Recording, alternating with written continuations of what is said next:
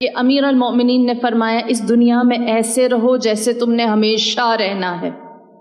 اور اس دنیا کے لیے پلاننگ ویسے کرو، اپنے فیوچر کو ایسے رکھو جیسے شام نہیں گزارنی، فوراً چلے جانا ہے۔ مومن کے لیے دنیا کیا ہے؟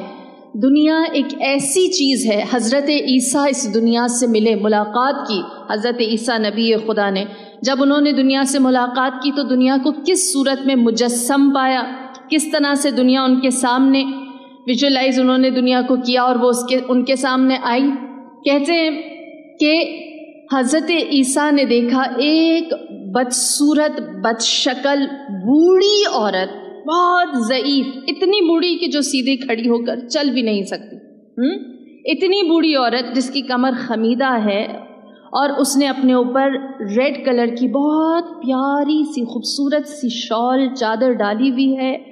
اور اس کے ایک ہاتھ میں مہندی لگی ہے، دوسرے ہاتھ میں خون لگا ہوا ہے، وہ جا رہی ہے۔ حضرت عیسیٰ حیران ہوئے، کہنے لگے، اے بزرگ عورت، تو کون ہے؟ مسکرائی کہنے لگی، اے نبی خدا، میں دنیا ہوں۔ کہا، یہ کیا طریقہ ہے؟ وجود جو ہے، وہ بالکل بوڑھوں والا۔ اور جو ڈریسنگ ہے، وہ جوانوں والی۔ ایک ہاتھ پر مہندی ہے، ایک ہاتھ پر خون ہے۔ تو پوچھا، یہ سب کیا ہے؟ تو کہنے لگی، میری کمر خمیدہ ہے، کمر جھکی ہوئی ہے۔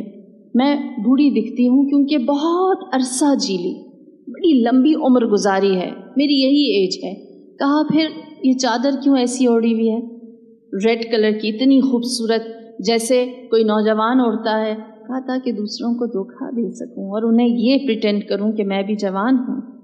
پوچھا، پھر ہاتھ پہ یہ کیا ہے؟ ایک ہاتھ پر مہندی کیوں ہے؟ کہنے لگی، دنیا، ابھی شادی کر کے آئی ہوں۔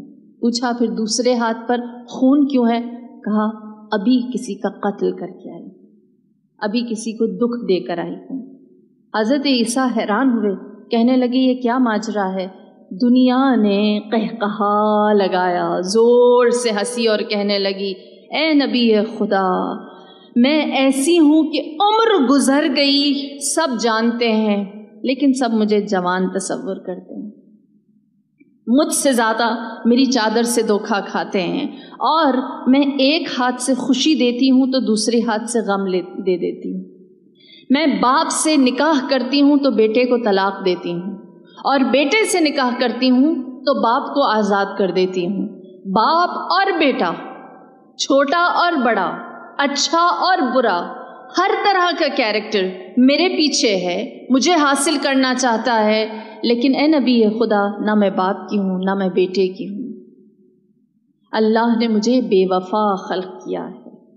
بس یہ دنیا ایسی ہے۔